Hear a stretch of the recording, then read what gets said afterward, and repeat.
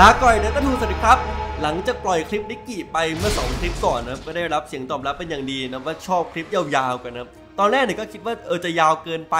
ไม่ดูดูไม่จบอะไรอย่างนี้แต่ปรากฏว่าดูแล้วหลับแล้วก็ดูต่อดูแล้วหลับแล้วก็ดูต่อกันจนจบเลยนะก็ขอบคุณมากๆนะสำหรับคลิปนี้เนี่ยก็เลยจัดเกมมันๆนานๆหน่อยมาให้อีกเกมหนึ่งนะสำหรับเกมที่ Fnatic ครับเจอกับยอนอีสปอร์ตในทัวร์นาเมนต์ ESL Thailand นะซึ่ง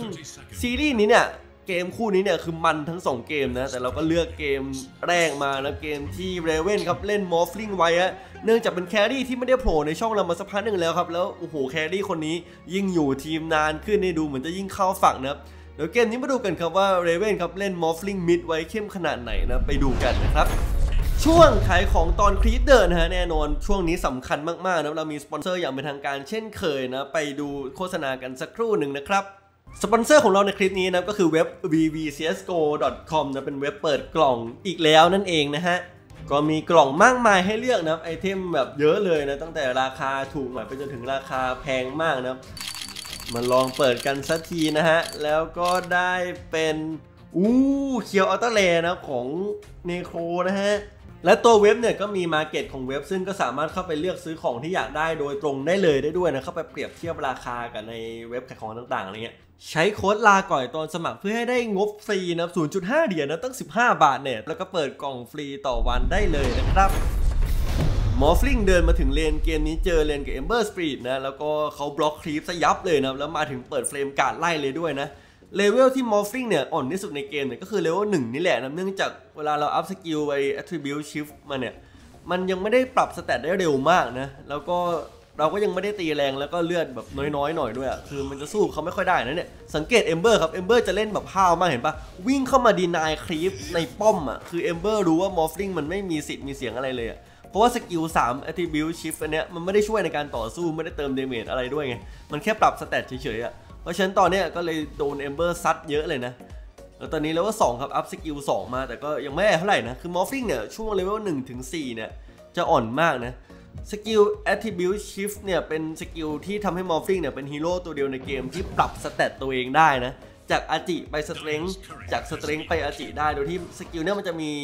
2 2 อันย่อยอะ่ะ แล้วก็มีแถบให้เราเห็นว่าตอนนี้ agi เยอะแค่ไหน strength เยอะแค่ไหน ซึ่งถ้าสังเกตตัวนี้เนี่ย Raven เนี่ยเลือดน้อยมากนะ3 4 0 0เท่านั้นเองนะ เพราะว่าเขา morph strength เป็น agi เยอะเลยแหละ เพื่อเอา damage มา last creepแล้วมันก็ทำให้เลือดน้อยลงนะ เพราะว่า strength ค่า strength คือเลือดไง strength หนึ่งหน่วยเท่ากับเลือด 20 เพราะฉะนั้นถ้า strength น้อยลงเลือดก็น้อยลงเนี่ยแล้วเจ้านี้ครับพอโดน Ember ล็อกเนี่ยก็ปรับ strength ขึ้นมาครับแล้วเปิด Faerie Fire ทำให้รอดมาได้เลือดเหลือ 40 แบบนี้นะคือ Morphling เนี่ยต้นเกมเนี่ยมันจะเล่นกับการปรับ stat แบบนี้แหละ แล้วก็จะชอบเหลือเลือดน้อยๆแบบเนี้ยแต่ตอนนี้เลเวลสามแล้วเขาเริ่มปรับ stat เร็วขึ้น การปรับ stat เร็วขึ้นเนี่ยจะสามารถแบบทำให้เลือดเด้งไวขึ้น แล้วก็ปรับเลือดกลับเป็น agi ได้ไวขึ้นด้วย คือมันจะเล่นกับเลือดตัวเองเยอะมากเวลาเราอัพสกิลสามมามากขึ้นเนี่ย ช่วงยืนเลนเนี่ยก็ไม่มีอะไรจังหวะนี้โอ้โหมีการกดสกิล2ครับ ยิงน้ำใส่หยุดยา Morphling เนี่ย Adaptive Strike เนี่ยอัพมาหนึ่งแต้มเนี่ยก็จะเป็นเหมือนสกิล damage ระยะไกลแหละ เพราะว่า Adaptive Strike เนี่ยก็จะแบ่งเป็น2อันเหมือนกัน agi เนี่ยจะยิงน้ำออกไปแบบเมื่อกี้แบบยิงใส่ Ember เมื่อกี้ทำ damage ตามค่า agi นะ ส่วนอีกแบบหนึ่งอะมันจะยิงน้ำสีแดงๆหน่อย มันจะเป็นน้ำ stun แล้วก็ผลักศัตรูออกตามค่า strength ส่วนใหญ่เนี่ยเราใช้สีสีเนี้ยมากกว่าสีเขียวมากกว่า แล้วก็ไอ้ strength เนี่ยมันจะใช้จังหวะเนี่ยเนี่ยจังหวะนี้มีการเปิดน้ำใส่ Ember เติม damage อัด Ember ไปซึ่ง Ember เนี่ยเจ็บมากๆนะครับคือยิงธรรมดาก็แดงละเพราะว่าเริ่มมี agi เยอะจาก Wraith Band จากการ morph เนี่ยแล้วก็สกิล2อัดเข้าไปอีกซึ่งมันจะคูณ damage ตามค่า agi เข้าไปอีก ก็แดงใช้ได้นะแล้วก็กลับมาที่อันนี้นะไอ้ strength เนี่ยก็จะใช้ตอนที่เราแบบ morph strength เยอะๆเลือดน้อยๆ แบบหนีตายอะจังหวะหนีอะเราก็จะ morph strength หนีแล้วก็หันกลับไป stun เขาอะไรเงี้ยหรือในจังหวะ team fight เนี่ยถ้า Morphling เล่นช่ำๆหน่อย ก็จะมีจังหวะเหมือนกับ morph ไป strength แล้วก็ stun แล้วก็ morph กลับมาทำ damage อะไรเงี้ยคือฮีโร่ตัวเนี้ยถ้าคนที่ติดตามการแข่งขันเนี่ยจะเห็นเรื่อยๆเลยนะ เพราะเป็นฮีโร่ที่เวลาโปรหยิบมาเล่นอะมันดูเก่งมากอะ มันดูแบบมันดูเก่งมากๆ แต่เวลาคนที่ไม่โปรหยิบมาเล่นมันดูมันดูห่วยเลยนะ มันเหมือนกับฮีโร่ตัวนี้มี 2 อารมณ์เลย ขึ้นอยู่กับคนเล่นและ skill play สูงมากนะฮะเนี่ยครับเจอ Ember Flame Guard เข้ามาครับ มีการยิงสกิล2ใส่เขาแต่โล่ไม่แตกเขาจากนี้ครับ Raven ครับต้องเปิด morph strength ฮะแล้วก็วิ่งออกมาครับ เนี่ยแหละจะเห็นว่าเลือดมันเด้งเริ่มไวมากกว่าที่ Ember จะฆ่าแล้ว แต่ก็ยังเหมือนเลี้ยงเลือดน้อยๆอยู่ดีนะ แล้วก็เนี่ย last creep เรื่อยๆ สกอร์ creep ตอนนี้ก็แย่กว่า Ember ครึ่งหนึ่งนะ เพราะว่าช่วงเลเวลแรกๆเนี่ย Ember จัดไว้หนักมาก last creep deny อันเนี้ย Ember โหดมากนะเกมนี้ ซึ่ง Morphling ก็ต้องค่อยๆฟื้นไปนะสี่นาทีมีการเดินมาดู rune ครับแล้ว Raven full speed ครับ เดินมาตรงนี้ช่วยดูให้ด้วยนะแต่ rune เกิดข้างบนนะซึ่ง Tiny ก็เก็บไปได้นะซึ่งก็คือ Jabz นั่นเองนะครับ จ๊บนี่ทัวร์นาเมนต์นี้คือเล่นดีมากนะ โอ้โห มีหลายเกมแล้ว สามารถโหวตให้แจ๊บเป็น MVP ได้นะสำหรับใครที่ดู ESL One Thailand นะครับ เอ๊ะแต่วันที่อัพคลิปนี้น่าน่าจบแล้วแหละนะ ก็น่าจะรู้แล้วใครได้ MVP นะ ก็ประมาณนี้แหละนะสำหรับ Morphling กลางนะ มันก็จะไม่ได้เป็นตัวที่เหมือนกับเลือกมาออโต้ชนะเลนแบบนั้นนะ่ะ มันจะสู้ได้ดีก็คือเจอฮีโร่ที่เลเวลหนึ่งมันทำอะไร Morphling ไม่ได้เหมือนกันอย่างแบบ Invoker อะไรเงี้ยเลเวลหนึ่งมันจะห่วยห่วยๆเหมือนกันอะไรเงี้ยอย่างนั้น Morphling จะสบายเลยเพราะว่าพอเลเวลเนี้ย damage มันจะแรงมาก ตอนนี้ Morphling ตกทีละร้อยซึ่งแรงกว่าฮีโร่ทั่วไปสูงมากนะเพราะว่ามันได้ morph agi ไงทีเนี้ย Morphling เนี่ยจะเริ่ม last creep deny คล่องมากช่วงประมาณเวลห้านะครับคือ Ember ทีเนี้ยถ้าเกิดไม่เล็งเนี่ยจะโดนแล้วเนี่ยสังเกต Morphling นี่เริ่มได้ล้านแล้วก็เริ่มตีตื้นขึ้นมาในเรื่องของสกอร์ creep เยอะมากๆนะและแน่นอน Wraith Band สองอันก็ช่วยด้วย การอัพสกิลเนี่ย Morphling อัพ3นำทุกเกมนะครับแล้วก็ในเกมนี้เนี่ยเดวินก็อัพสกิล2ตามมา Waveform เนี่ยก็เดี๋ยวค่อยอัพก็ได้นะ เพราะว่าเราไม่ได้จะใช้เร็วขนาดนั้นสำหรับสกิล Waveform แต่เดี๋ยวเขาคงอัพมาแต้มหนึ่งแหละ แต่ตอนนี้มันยืนเลนไงแล้วเป็นเลนกลางด้วยยิ่งไม่ต้องใช้เลย เนี่ยจังหวะนี้ครับมีการกด morph strength เด้งเลือดสู้กับ Ember เห็นปะแล้ว Adaptive Strike strength ครับ stun Ember เด้งมานิดนึง Ember ก็เลยแวบออกไปนะหนีไปนะ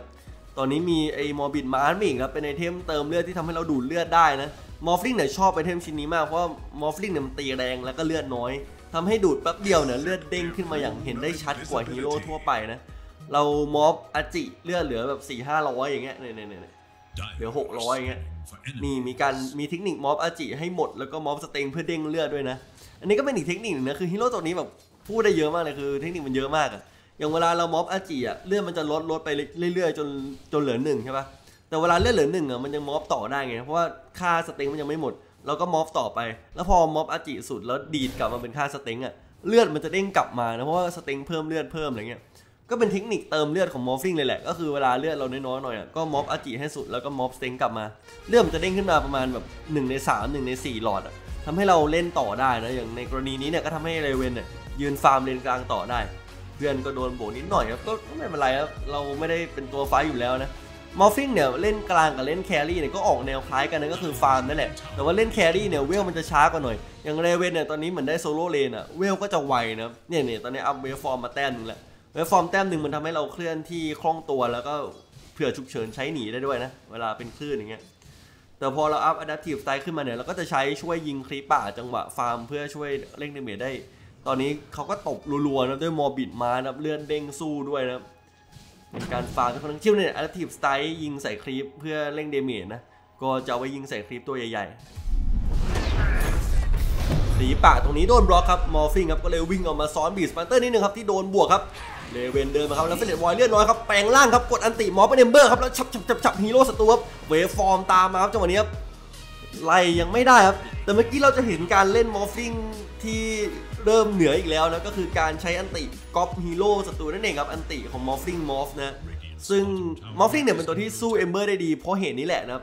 Morphling เวลามันก๊อปเป็น Ember เนี่ยมันสามารถใช้ skill 1 2 3 ของ Ember ได้ ซึ่งมันดีทุกอันเลย ทั้งเปิด Flame Guard กันเวทให้ตัวเอง ทั้งชับชับชับด้วย Sleight of Fist ที่เป็น damage จากการ morph agi ขั้นรุนแรง คือมันเป็นสับของ Ember ที่แรงกว่า Ember แน่นอนอะแล้วก็ skill หนึ่งล็อกขาให้เราตีต่อได้ด้วย อัลติ Morphling เนี่ยก็จะใช้แบบนี้แหละนะครับ มันจะมีฮีโร่ที่ Morphling แก้ทางได้ดี จากการที่มันมีอัลติแบบนี้แหละ อย่างเช่น Ember อย่างเช่น Terrorblade ฮีโร่ที่แบบก๊อป skill มันมาแล้วเก่งกว่าเจ้าตัว อย่าง Terrorblade อย่างเงี้ย Morphling เวลาก๊อปมา ดีไม่ดียิงแรงกว่าอีกเพราะว่าแบบ agi มันเยอะอะมัน morph ได้ไงแล้วก็แยกร่างได้ metamorph ได้อะไรเงี้ยคือ Terrorblade มัน skill สามมันดีอะไรเงี้ยก็ยิ่งทำให้ skill อัลติ Morphling ใช้ได้ดีครับตอนนี้ Ember ครับบวกเข้าไปอีกแล้วครับ Morphling กลับยืนยิงธรรมดาครับสังเกตว่า Ember เจ็บมากนะครับ Ember เนี่ยต้นเกมแบบเนี้ยมันชอบเวลาเจอตัวเวทเพราะว่า Flame Guard มันกันได้เยอะแต่เวลาโดนตีธรรมดาแบบแรงๆเนี่ย Ember ไม่ไหวนะ ซึ่ง Morphling เนี่ยก็มี Power Treads แล้วอะกับดูดเลือดอะคือมันเป็นตัวที่ตีธรรมดาแบบแรงๆมากๆอะนะตอนเนี้ยแต่ข้อเสียอย่างหนึ่งคืออัลติ level หนึ่ง Morphling cooldown โคตรนานนะ morph level หนึ่ง cooldown ร้อยหกสิบอะต้องอัพเต็มถึงจะเหลือแค่สี่สิบคือเป็นเป็นอัลติที่ cooldownลดไปเยอะมากเวลาอัพนะครับสำหรับ skill อัลติของ Morphling นะ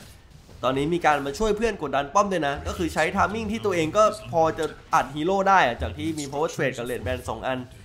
มาเอาป้อม safe lane นะก็ได้ป้อมไปเลยนะ ป้อมแตกเลยนะและจังหวะนี้ฮะระหว่าง Morphling ฮะกำลังกลับมาฟาร์มป่านะทีมนีออนบุกมาเลนล่างเยอะมาก Morphling ครับตัดสินใจ warp ซ้อนไปครับช็อตนี้ฮะ Troll Warlord ตีป้อมแตกไปแล้วครับแล้วไพโมรอเข้ามาหา Ember Morphling warp ลงมาแล้วจังหวะนี้ Grimstroke โดนรุมฆ่าไปแล้ว Ember เนี่ยมันจะพุ่งหนีไปได้นะเหลือ Troll Warlord ตัวเดียว Morphling ก็เลยลงมาช่วยยิง Troll Warlord นะครับ Troll Warlord กดอัลติยื้อเวลาการตายไว้ก่อนนะ Troll Warlord ยังไม่ยอมตายสักทีครับแล้วจังหวะนี้ครับ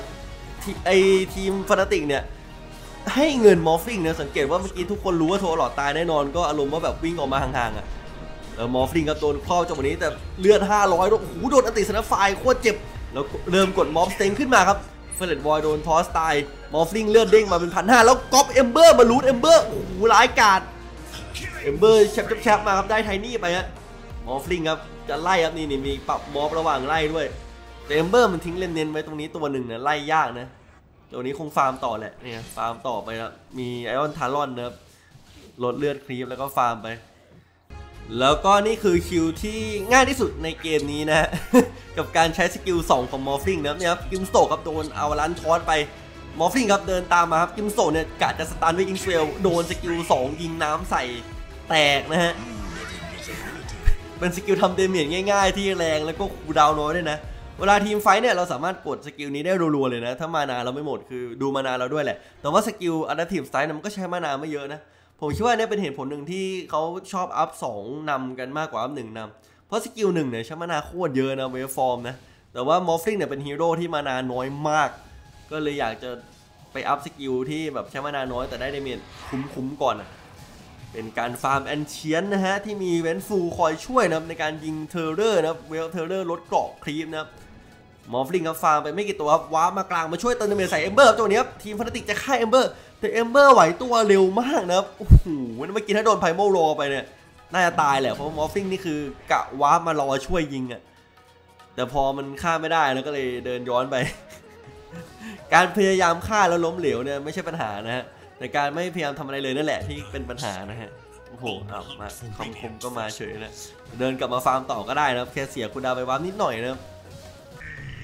หลังจากฟาร์มคลิปเอนเชียนกลุ่มนั้นเสร็จครับเวนฟูสตรีทโดนฆ่าไปนะจังนี้ฟนาติกนี่ถอยกันมาใหญ่เลยเฟเลดวอยนะวิ่งตามมาลึกมากครับเจอมอฟลิงมอฟเวฟฟอร์มลงไปเรียบร้อยนะครับอันดับทีมสไตล์อัดเตอร์เมนไปอย่างแรงมากนะเฟเลดวอยหายไปเลยนะครับ แล้วมีการแบบมายืนขู่เซนเนอร์ไฟล์ด้วยนะนี่นี่นี่อย่ามายุ่งกับอันเดอร์หลอดชั้นอะไรเงี้ยนะทำให้อันเดอร์หลอดเนี่ยได้มันตีลูนด้วยนะช็อตนี้นะรอดมาได้นะครับส่วน Raven เนี่ยตอนนี้เนี่ยไอเทมก็เริ่มขยับขยับนะจะออกเป็น Manta ต่อนะซึ่งเกมนี้แบบประโยชน์เยอะมากนะครับโดยเฉพาะการแก้ root ของ Ember นั่นเองนะครับทำให้เราตายยากขึ้นนะแล้ว Troll เนี่ยไม่ชอบ Manta เลยเพราะว่ามันตีหลายตัวไม่ได้นะเวลา Troll โฟกัสแล้วเรากด Manta Troll เสียโฟกัสเลยนะ ตรงนี้เลนกลางครับ Troll ครับก็โดนเพื่อนเขาเข้าเยอะมากครับ Vengeful ครับ swap มา Morphling เดินมันจะช่วยเติม damage ครับทีมนีออนมากันครบเลยนะครับRaven เดินมานะพร้อมกับ Yasha หนึ่งอันนะ Waveform เข้ามาอัดใส่ Troll หายไปก่อนเลยครับแล้วไม่โดนโคโนด้วยนะครับตรงนี้ตบ Grimstroke ต่อครับโดน Ink Swell stun ไปสักพักหนึ่งนะครับนานอยู่นะเห็น Ember ก็ไล่ตี Ember แต่จังหวะนี้ครับ Ember ก็ได้ฆ่า Vengeful ไปด้วยนะครับ Morph นี่ก็ไม่หิวเลยนะ ไม่วิ่งไล่ไม่แรงนานนะเพราะมันไม่ทันนะครับ จังหวะนี้โอ้โหกด morph strength เร็วมากนะ เมื่อกี้เนี่ยสังเกตว่า Cookie Snapfireลอยมา stun มันเขาจะ stun Morphling ไงใส่ creep อะเทคนิคคุกกี้ใส่ creep อะแต่ว่า Raven เห็นทันจังหวะที่ creep มันเด้งมาแล้วกด morph strength เอาไว้ อันนี้สำคัญมากนะเวลาเราเล่น Morphling เนี่ยถ้าเรากด morph strength ได้ก่อนที่เราโดน stun เนี่ย morph strength มันจะยังอยู่นะเลือดเราจะเด้งไปด้วยโดน stun ไปด้วยได้นะอย่างเช่น สมมุติเอ่อเมื่อกี้คุกกี้ใช่ไหมสมมติ Faceless Void Time Walk พุ่งเข้ามา แล้วเรากด morph strength ทันน่ะ แล้วเขา Chrono เราเงี้ยมันจะ morph ใน Chrono ต่อ ซึ่งทำให้เลือดเราเด้งแล้วเขาฆ่าเราไม่ได้แน่นอนนะจนกว่าแบบจนกว่าเราจะ mana หมดจริง mana หมดก็ไม่ตายอะเนี่ยเนี่ยเนี่ยตัวนี้ครับโดนบวกปุ๊บ Waveform ออกมา มีการ Ink Swell ให้ตัวเองนะครับแต่เลือดน้อยมากนะตัวนี้ morph strength แบบแทบจะ morph สุดแล้วนะเลือด 3,000 แล้วนะมีการเนี่ยพอเลือดเหลือหนึ่งหลุดออกมาได้ครับปรับเอจิรัวๆปรับเอจิให้สุดครับแล้วปรับ strength คืนมานะตัวนี้เลือดเด้งมาครึ่งหลอดเลยนะเลือดเด้งมาเยอะมากครับ แล้วสวนกลับไปใหม่ครับพร้อมกับทีมนะครับ Waveform เข้ามาใน Roshan ครับสาดสกิลสองใส่ Ember ครับเปรี้ยงเข้าไปครับ Ember ยังไม่ตายเลือดเหลือตึงหนึ่งนะแต่นี่ครับทีมครับก็ได้ฆ่า Ember อยู่ดีครับ Tiny โยน Grimstroke เข้าไปหานะครับเรียบร้อยนะครับโอ้โหในลีลาการ morph เลือดนะของ Ember เอ้ยของ Morphling นะฮะที่ทำให้แบบรอดออกมาได้เล่นเหลือนิดเดียวแบบนั้นน่ะทีม Fnatic ไล่ต่อด้วยครับตัวนี้ Raven ครับยังพอมี mana เล่นครับนี่ครับเห็น Snapfire ครับยิงสกิล2ใส่อีกครับ mega kill นะครับ สกิล2ล่าฮีโร่นะเป็นอาชีพนะครับได้ Manta มาพอดีครับได้ป้อม tier หนึ่งพอดีด้วยโอ้โหช็อตนี้สวยมากๆนะการเอา Roshan เนี่ยก็ไม่ได้ยากอะไรครับเพราะ Morphling มันตีเร็วตีแรงสุดๆนะครับตอนนี้เนี่ยก็ morph agi แบบขั้นสุดเลยเลือด 700 นะ ให้ Underlord ไปแทงแล้วก็ยืนยิงครับเนี่ยดูเลือด Roshan ครับ 17 นาทีเองนะ มี aura Beastmaster ช่วยด้วยแล้วทำให้ตีเร็วขึ้นอีกนะครับ เนี่ยก็เป็นการเอา Roshan ที่ค่อนข้างเร็วนะครับสำหรับทัวร์นาเมนต์เราก็จะเห็นแบบนี้นะทีมนีออนครับไม่ให้ครับแต่เฟรนวอนเนี่ยยังไม่มีโคโนนะ Fnatic ก็เหมือนจะลังเลนิดนึงครับเพราะว่าทีมนีออนก็เกิดครบแล้วด้วยนะครับ Beastmaster นะพยายามเอาลูกไปคุมโซนตรงนี้ Ember นี่คือแบบวิ่งไปวิ่งมาคอยดูเชิงอยู่เหมือนกัน แต่ก็อยากได้ Roshan อยู่นะเนี่ยครับ Morphling ครับก็เดินเข้ามาตีต่อ และอยู่ๆจังหวะนี้ครับ Faceless Void ครับเปิด Chrono ใส่ Beastmaster คนเดียวครับเปิด fight นี้ขึ้นมาเลยครับ แต่ว่าแจ๊บนะฮะก็เอา Avalanche Toss อัด Faceless Void ตายคืนเหมือนกันนะ Morphling ครับมีการ morph เป็น Ember ครับแชบๆแล้วก็ root เข้าที่หนึ่งนะแล้วก็ถอยมาก่อนจังหวะหนึ่งนะครับและนี่ครับดูว่า Morphling ครับมีการมาแวะฟาร์มด้วยอะคือในระหว่างจังหวะแบบเข้าได้เข้าเข็มแบบฮีโร่ศัตรูอยู่ใกล้ๆอะก็ยังมีประสิทธิภาพในการฟาร์มและยังฟาร์มได้นะแล้วจังหวะนี้ครับ Faceless Void buyback มาครับนีออนมีคนครบแล้ว Tiny toss Snapfire มาให้ Morphling โบกได้เลยยิงแป๊บเดียว Snapfire ตายเลยนะครับ ก็เลยยิง Roshan ต่ออย่าง chill นะครับเนี่ยครับ Ember พยายามจะแอบเหมันจะฉก Roshan แต่ก็ไม่สำเร็จนะครับ Morphling ครับก็ได้ Aegis ไปครับ และไล่ต่อเลยครับ Tiny โดย Jabz นะซึ่งเกมนี้เล่นโคตรดีนะ blink มาแบบโอ้เปิด vision team fight แบบยับยับๆโดนฆ่าไปก่อนเลยด้วยนะจังหวะนี้ครับ Faceless Void Time Walk เด้งเลื่อนมา Morphling ยืนยิงกลางวงครับเนี่ยครับยิง Troll ครับชิวๆนะครับ Troll จะเข้ามาตีครับ Morphling ครับ morph strength เด้งเลือดแล้ว Manta ครับ Troll ตายเลยครับเนี่ยเลือด Morphling 2,000 กว่า 3,000นะ morph strength เด้งเลือดตอนโดน Troll ตีเมื่อกี้นะ Troll นี่คือสู้ Morphling ไม่ได้เลยนะยิ่งมี Manta แล้วยิ่งแบบสู้สู้ลำบากมากอะ่ะ เพราะว่า Morphling เนี่ยต่อให้มัน morph morph ไป strength ประมาณเลือดสองสามพันหน่อยอะ่ะมันก็ยังตีโอเคอยู่ดีคือมันไม่ได้แบบตีอืด damage หายหมดไม่ใช่นะ แต่มันมันยังคงแรงอยู่ เพราะมันมีไอเทมไง มันมี Manta มันมีพวก Wraith Band พวกเนี้ย เพราะว่า Treads อย่างเงี้ย มันก็ไม่ได้ถึงกับอ่อนขนาดนั้นนะ แต่ว่ามันทำให้ในตอน team fight เนี่ยมันมันยืนแบบยืนแลกอะ่ะ ยืนแลกเก่งมากอะ่ะ แล้วก็ฆ่าพวกสไตล์ Troll ที่มันแบบไม่ชอบ fight ยืดเยื้ออะไรเงี้ยคือ Troll มันแบบ ulti มันหมดปุ๊บมันจบเลยไง แต่ Morphling เนี่ยมันเป็นตัวที่ได้เรื่อยๆนะครับตรงนี้มีการ smoke กับทีมครับ Morphling ครับได้ Manta ชิ้นแรกแล้วจะออกเป็น Eye of Scar ดีต่อนะ เกมนี้เนี่ยไม่ได้เล่นสาย shotgun นะเป็น Morphling สายตีธรรมดา ซึ่งดีเหมือนกันเพราะในคลิปของช่องเราเนี่ยช่องลาก่อยเนี่ยส่วนใหญ่จะเป็นสาย shotgun จะเยอะนะ ที่ออก Ethereal Blade นะ เกมนี้ครับตอนนี้ Morphling ครับก็มาวิ่งล่าฮีโร่กับเพื่อนครับ Jabz นี่คือสาดหินหาแล้วว่ามีตัวหรือเปล่าแล้ว Morphling ก็ไปเจอครับ Grimstroke ครับ Adaptive Strike ยิงสวนทีตายเลยนะการฆ่าซัพพอร์ตเนี่ยเป็นเรื่องง่ายมากครับโดนเซนไฟสตันเล็กน้อยครับมอฟฟิงกับหันก็มาอันนั้นทีมสไตล์สเตรงนะสตันทัวหลอดแบบโคตรนานนะครับ แต่ตอนนี้ม็อบเลือด3,008นะครับตีเบาลงพอสมควรนะ แต่ก็เนียบเดเมจเติมจากเพื่อนได้ครับ แล้วมอฟฟิงก็เวฟฟอร์มอัดมากับอันนั้นทีมสไตล์อาจีได้ทูหลอดไปอีกแล้วนะครับแล้วก็แปลงร่างมาเดมเบอร์ช็อปแชปช็อปแชปไป แล้วกดมอมสเต็งทันก่อนโดนโคโนครับเลือด4,000 ทีนีออนฆ่ามอฟฟิงไม่ได้ครับโดน stun นานๆหน่อย Underlord ตายไปก่อนตรงนี้ Raven ครับ morph กลับมาครับเห็นไหมมันต้อง morph ไป morph มาอย่างที่เห็นอะ morph กลับเป็น agi จะโดน stun ก็ morph ไปเป็น strength จะทำ damage ก็ morph กลับเป็น agi Ember ครับโดนสกิลตัวเอง root นะครับเกือบตายนะโอ้โหเดี๋ยวนี้เริ่มหมดก๊อกแล้ว Morphling นะครับแต่หูดูครับ morph agi ครับ morph agi แบบอัดเหลือหนึ่งแล้วก็เพื่อเด้งเลือดมาใหม่อีกนะโอ้โหมันต้องอ่านสกิลศัตรูดีมากเลยเพราะว่าเวลา morph agi เลือดเหลือหนึ่งนี่คือมีอะไรมาสะกิดก็คือตายเลยถูกป่ะโอ้โหช็อตนี้ครับฟันติครับไม่ถอยด้วยนะ ถือว่ามี aegis อะไรอย่างนี้แน่เลยดันต่อแล้วแล้ว Underlord มี ulti นะก็ Underlord เกิดเมื่อไหร่ก็อาจจะ Dark Rift มาลงอะไรเงี้ยแต่พอยื้อไปสักพักครับ Morphling ครับบอกไปฟาร์มต่อแล้วกันครับ ว่ายังไง Morphling เนี่ยยิ่งรวยมันยิ่งโหดอยู่แล้วนะ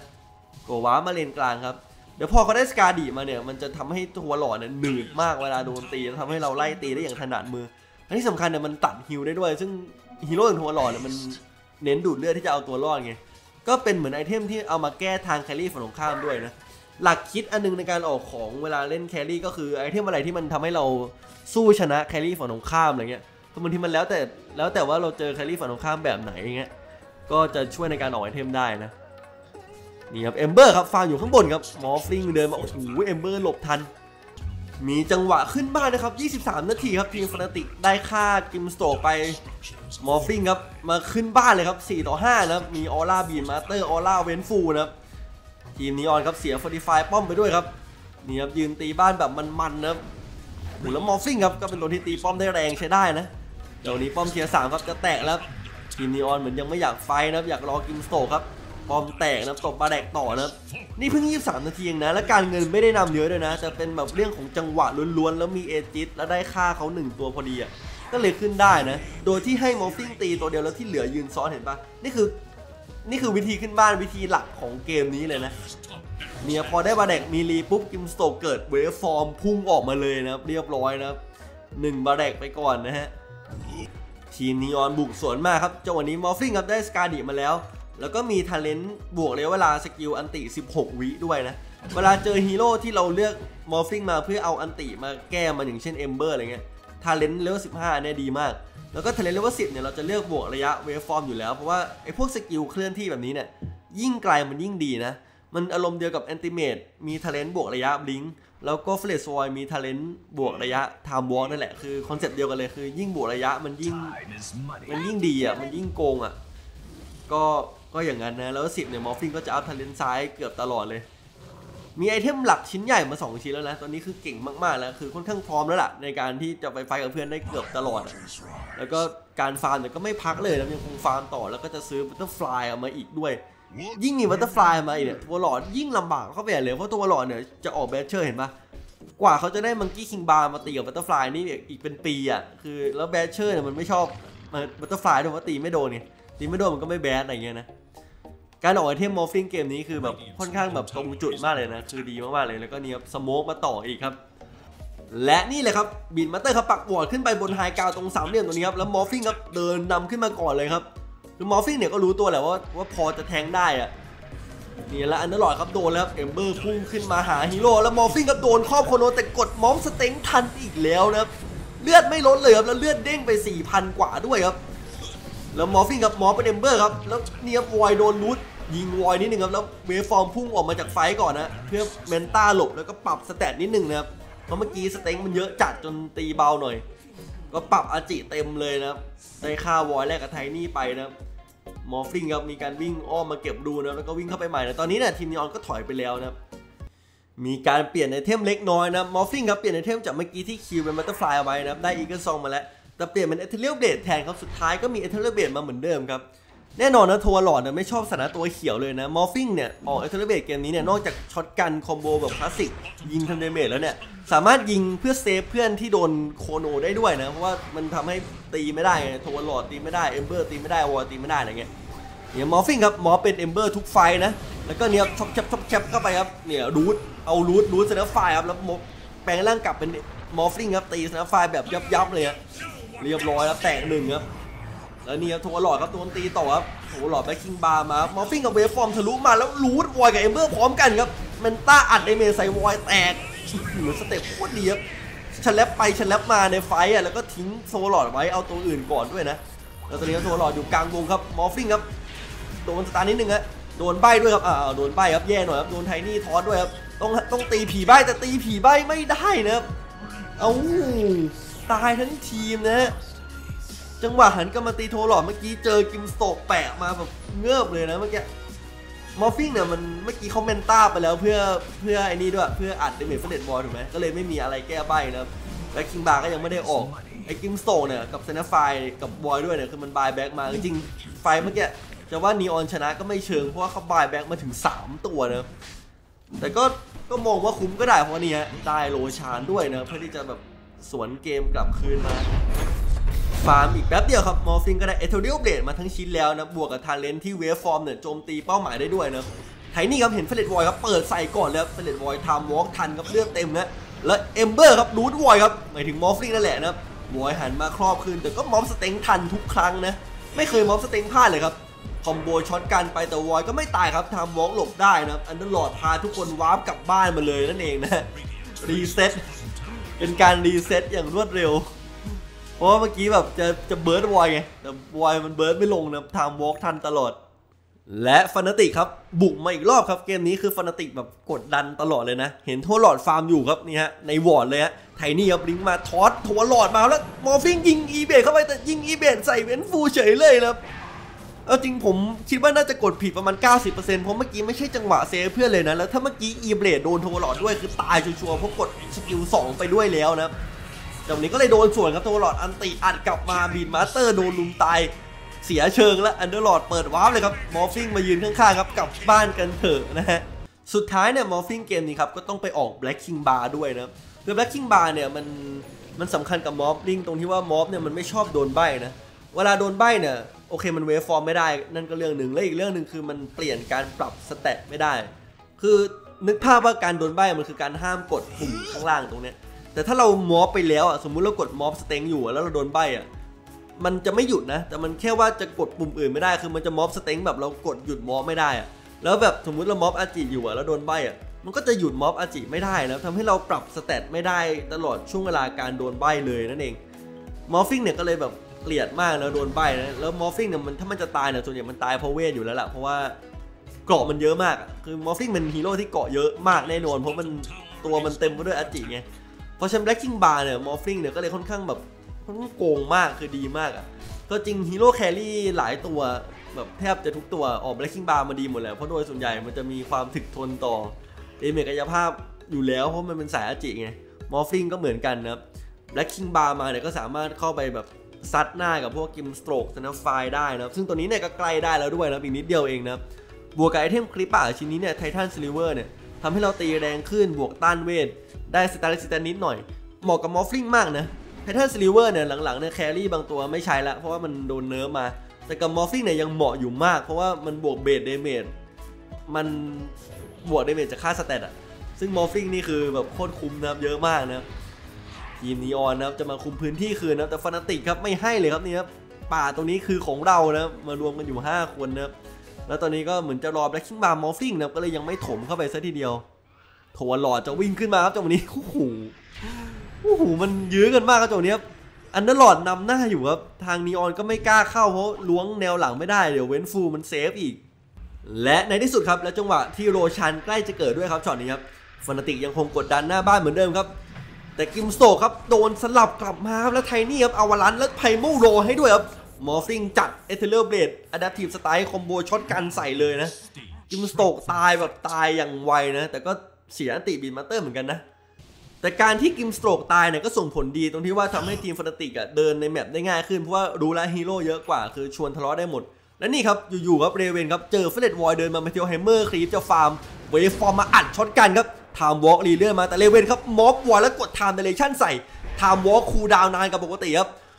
จังหวะนี้เด็ดมากนะ แล้วนี่ครับเวนฟูครับสลับเอามาแล้วตายนะ Void โดนเปิด vision จังหวะกำลังจะ warp กลับบ้านนะโอ้โห เป็นการแบบกด ulti ได้อย่างคล่องแคล่วนะซึ่งเอาจริงหลังจากเวล18นี่ย ulti คือกดไปเถอะเพราะว่ามัน cooldown เหลือแค่ 40วินะครับเราสามารถแปลงร่างเป็นฮีโร่ศัตรูได้ทุกตัวนะครับแล้วถ้าเราออกคาถาฟ้ามาเนี่ยเราจะแปลงร่างเป็นเพื่อนได้ด้วยนะครับ แต่ว่าเกมนี้เนี่ยก็ไม่ใช่สายคาถาฟ้าแต่อย่างใด เพราะว่ามันมักจะ combo กับอารมณ์แบบ Earthshaker อะไรเงี้ยมากกว่า ความมันของเกมนี้อย่างหนึ่งเนี่ยจะเห็นว่าการเงินเนี่ยไม่ขาดเลยนะ เพราะ Troll Warlord มันฟาร์มโคตรเร็วครับคือทีม Neon Troll Warlord เงินนำ Morphling อยู่อะตอนเนี้ยเพราะ Troll Warlord มันได้ฟาร์มตลอดแล้วจังหวะนี้ครับโดนเปิด fight ก่อนด้วยครับ Ember พุ่งเข้ามาครับเก็บ Beastmaster ไปก่อนนะ Morphling นี่คือยืนดูเลยนะ คือไม่เอาตัวไปเลยนะ ยืนดูตำแหน่งฮีโร่แต่ละตัวของศัตรูก่อนนะครับ เพราะถ้าเราจะเข้าเนี่ย Morphling แน่นอนคืออยากจะเข้า support ก่อนอยู่แล้วนะครับ Underlord ตายไปครับ Beastmaster buyback มาครับ Fnatic ทีมคนที่เหลือครับยังคงใจเย็นมากนะครับแต่แน่นอนนะเขาไม่ปล่อย Roshan ตัวนี้แน่นอนนะครับ Morphling ครับยังคงยืนดูอยู่ห่างๆครับแล้ว Grimstroke ครับเริ่มอยู่ในระยะแล้วแล้วเนี่ย Faceless Void โดน Primal Roar Morphling wave มาแต่ Faceless Void มี Glimmer Cape save ไว้เลยเอาวอยไม่ได้ครับโดน Troll Warlord ไล่ตีอยู่ครับแต่ Morphling อะเนี่ยพยายามไล่ตบ support เห็นปะพยายามจัด Grimstroke โดน Troll Warlord ตีเริ่มเยอะแล้วไอ้ Fervor stack มันเริ่มเยอะต้องหนีออกมาก่อนนะ ไม่งั้นสู้หันกลับไปสู้ไม่ได้เพราะว่าเขา stack เรา5 5 6ทีแล้วเมื่อกี้ Troll Warlord มันยิ่งตีตัวเดิมมันยิ่งตีไวไงเจ้านี้ก็เลยถอยมาเลยนะครับแล้วก็น่าจะเสีย Roshan ด้วยนะเพราะเสียฮีโร่ไป 2 ตัวเสีย Beastmaster ไปด้วยครับในท้ายที่สุดนะครับเกมนี้ก็เลยดูยืดออกไปอีกนั่นเองเพราะว่า Troll Warlord เนี่ยถือ Aegis อยู่นะ Morphling ก็ฟาร์มไปหนักๆ จนตอนนี้ก็ upgrade Morbid Mask ที่ถือไว้ตั้งแต่ต้นเกมเป็น Satanic แล้วนะครับ Satanic บวก Titan Sliver เนี่ยก็ทำให้เราโดนหยุดอะไรเนี่ยแป๊บเดียวลงเยอะนะแล้วก็แน่นอนนะ active ของ Satanic นะครับดูเลือดแบบยับยับนะครับเป็น item ในฝันที่ carry ทุกตัวแบบท้ายเกมนี่คือชอบหมดนะ Satanic เนี่ยถ้าเรามี damage พอแล้วเนี่ย Satanic ยังไงก็ดีนะทำให้เราตายยากขึ้นแบบ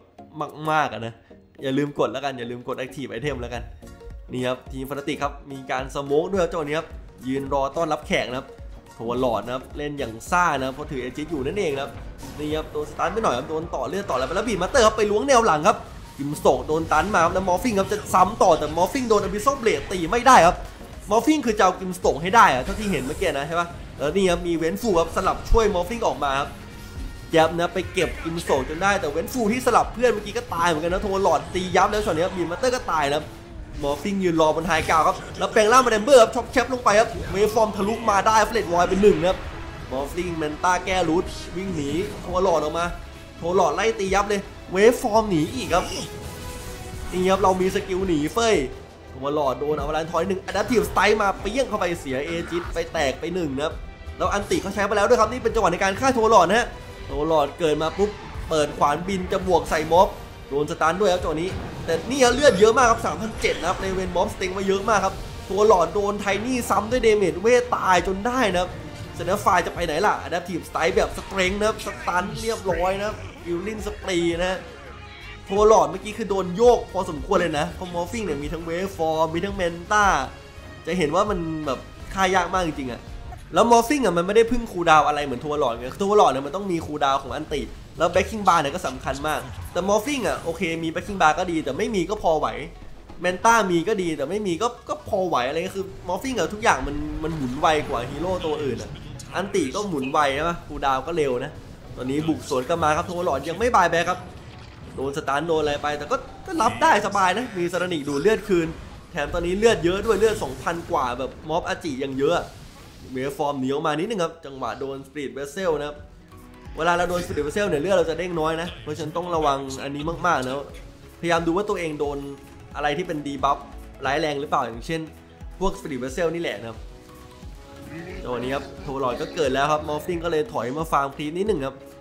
เลเวล25 แล้วด้วยนะครับ talent ครบแล้วนะ talent Waveform 2ชาร์นะครับสามารถกด skill หนึ่งได้ 2 ครั้งติดๆกัน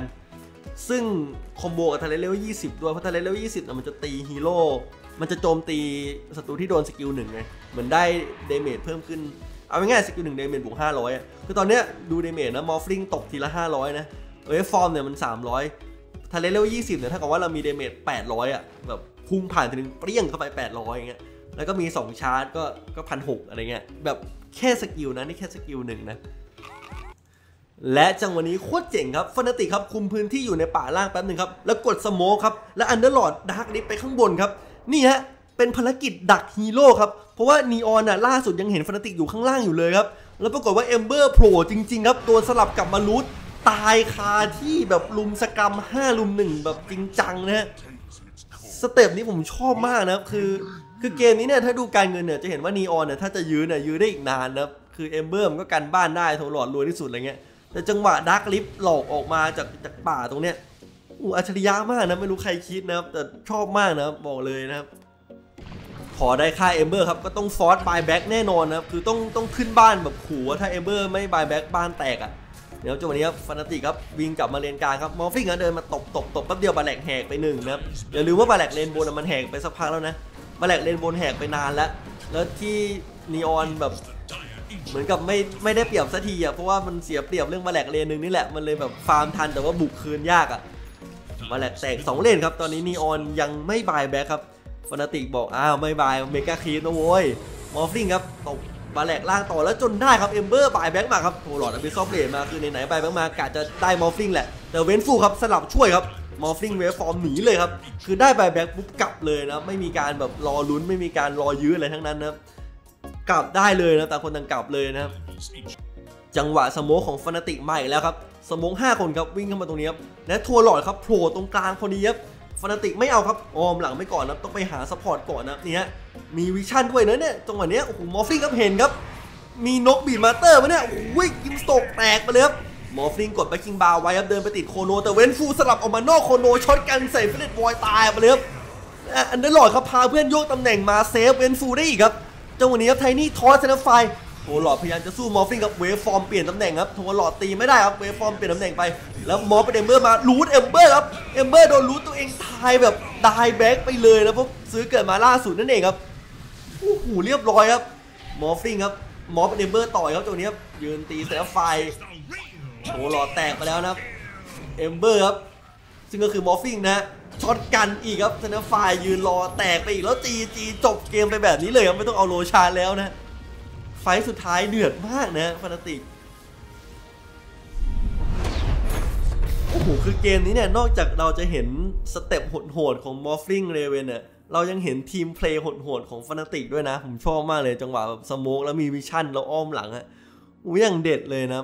แล้ว Venge สลับ Morph ออกจากโคโน เพื่อให้ Morph มาอัด Void ตายเงี้ยโอ้โหอะไรมันจะขนาดนั้นนะครับ item ปิดเกมก็คือแบบครบ 6 slot full เต็ม แล้วเราจะเห็นช็อตที่ Ember โดน root ตัวเองตลอดนะครับ เรียก morph เป็น Ember ตลอดเพราะว่าฮีโร่มอฟฟี่เนี่ยอย่างที่บอกมันเลือกมาเพื่อแก้ทาง Ember ตัวนี้แหละ